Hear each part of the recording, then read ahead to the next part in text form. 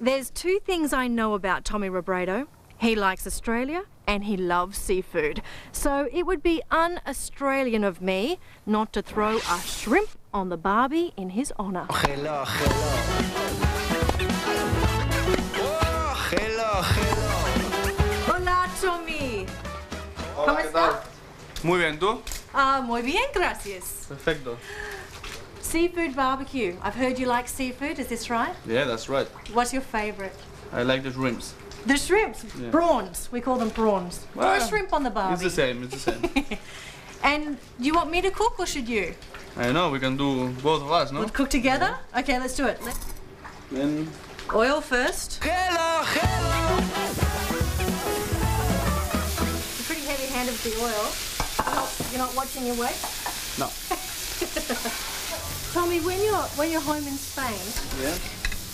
you eat very late there. I've been to Barcelona. They eat dinner very, very late. Is it hard for you when you're on tour to eat at the right time? But yeah, it's true that the Spaniards we like to to have dinner around 9:30, 10, and have lunch around 2, 3, something like this. And then siesta. Well, Well, th- that's what we say that we like, but we are not used to doing that much because then we have to go home and and have the siesta and eat stuff. But if we have a relaxing day, then we love to do a siesta. it's great. how do you say fire in Spanish? Fuego. Fuego, fuego. and um, when you're at home, I read that you like to go into the mountains. What sort of things do you do when you're in the mountains? Well, I live in, in Sant Cugat, really close from Barcelona, Yeah. but uh, my parents live uh, one hour and a half from there where the mountains are so close. And then what I love to do is I have a quad.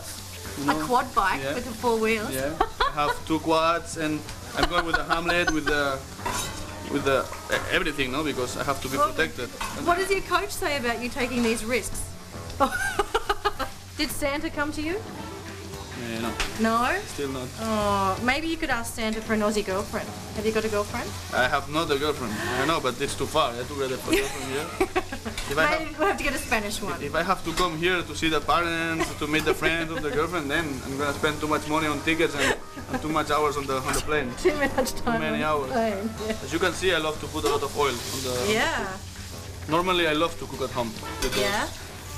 because we're always traveling and we're always restaurant by restaurant. no? Yeah, And then so- when I'm at home, my friends say, "Oh, come on, Tommy, let's go to a restaurant." I say, Like, "Okay." no. you, you know what we're gonna do?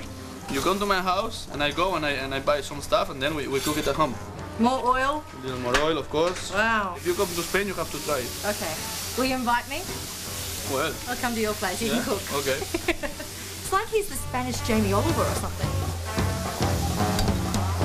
More olive oil. Because if not, they're gonna be Too Dry. dry. too dry. Then more oil. More- If it's my style, my style, it's more oil. when in doubt, add more oil. That seems to be his motto. Now we have to try. Oh,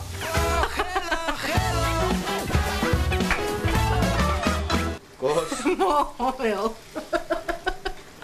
I think it's time to invite uh, Tommy's coach and Annabelle's boyfriend along to the table for a feast. Come on down. Thank you very much. Thank you very Pepe much. and Raul.